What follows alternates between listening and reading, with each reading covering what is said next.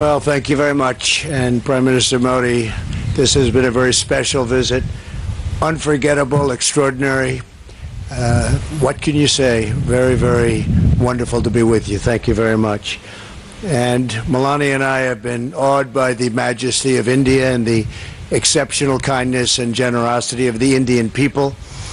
We'll always remember the magnificent welcome the citizens of your home state I think everybody saw that, everybody witnessed that for themselves. The First Lady and I also reflected on the memory of Mahatma Gandhi at his ashram, and this morning in Delhi, we laid a wreath in his honor. We visited one of your nation's most stunning cultural treasures, the world famous Taj Mahal, and we look forward to continuing our visit tonight during a wonderful state banquet with President Kovind at the presidential palace. I know Prime Minister Modi will agree that this has been a very productive visit for both of our countries. Earlier today, we expanded our defense cooperation with agreements for India to purchase more than $3 billion of advanced American military equipment, including Apache and MH 60 Romeo helicopters, the finest in the world.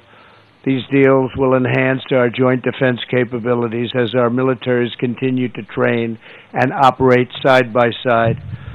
In our discussions, Prime Minister Modi and I affirmed our two countries' commitment to protecting our citizens from radical Islamic terrorism.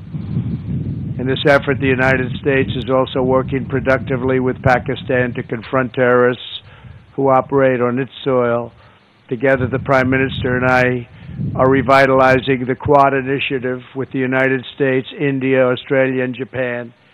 Since I took office, we have held the first Quad ministerial uh, meeting. I guess you would call it a meeting, but it seems like so much more than that an expanded cooperation on counterterrorism, cybersecurity, and maritime security to ensure a free and open Indo Pacific as we deepen our partnership with India, we remember that our two countries have always been united by shared traditions of democracy and constitutions that protect freedom, individual rights, and the rule of law.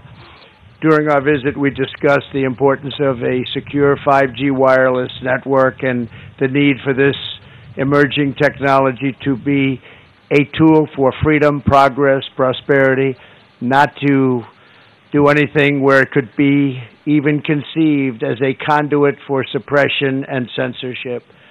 To guarantee that the infrastructure of the future is built in a safe, transparent, and accountable manner, the United States is working with a range of partners, including Australia and Japan, to create the Blue Dot Network, a major initiative to ensure countries around the world to have access to private sector led, sustainable, and trustworthy options for high quality infrastructure development, and that's what's happening.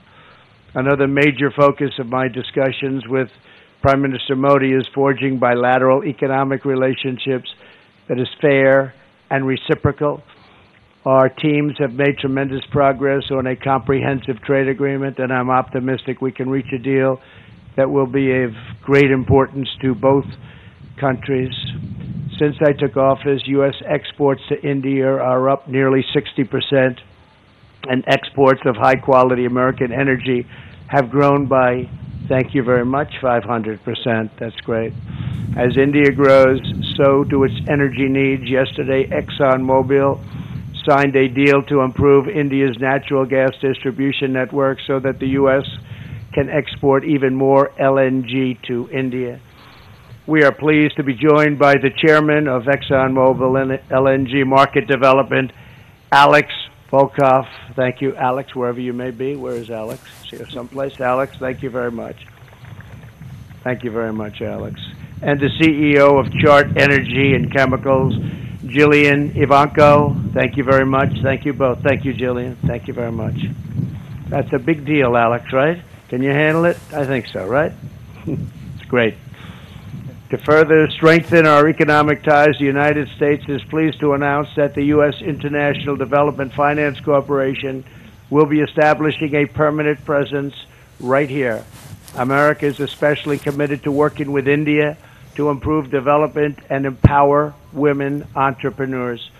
That is why my daughter Ivanka attended the Global Entrepreneurship Summit in Hyderabad to highlight women's economic empowerment. Ivanka, please, great job you've done. Thank you very much.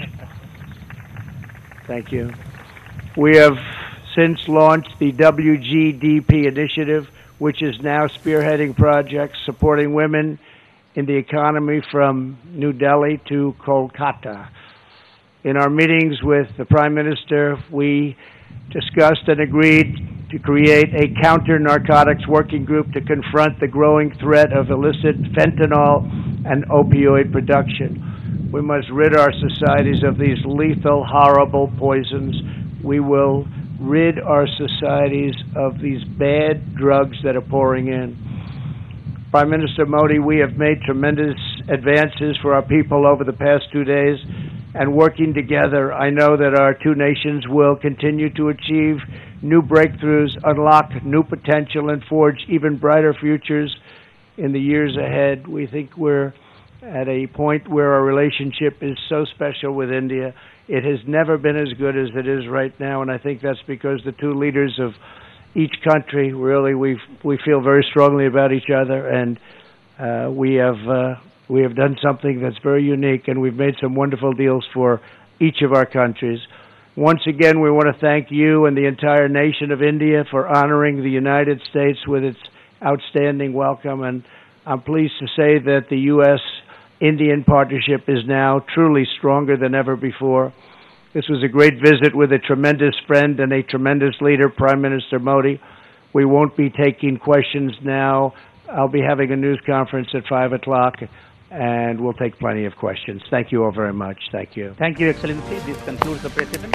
Thank you all for joining.